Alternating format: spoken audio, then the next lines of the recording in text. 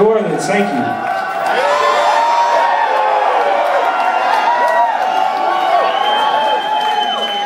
This is, uh, trying to think back before the show. I think this is my fourth solo show in New Orleans. Played here at House of Blues in 97 with Jeru the Damaja.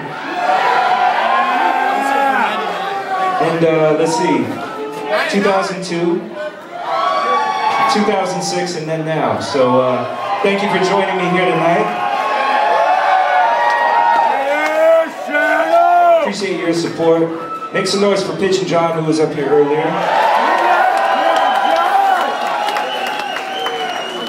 And uh, make some noise for Ben Stokes, who's over there running these visuals for all y'all.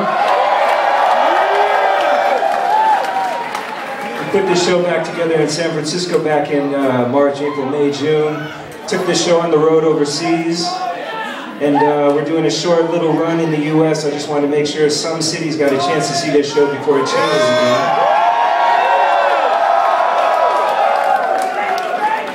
I'm about uh, halfway done with a new record that I started working on at the end of last year. So once this little uh, tour is over, I'll go back in the studio, finish that record, and uh, yeah, hopefully come back to New Orleans. So. So there are some new songs, and by the way, everything I'm playing tonight, 99% of it is something that I did or made, or a remix of something I did or made. That's just in case there's people wondering what I'm playing. But uh, if it's cool with you, I'd like to do a brand new one.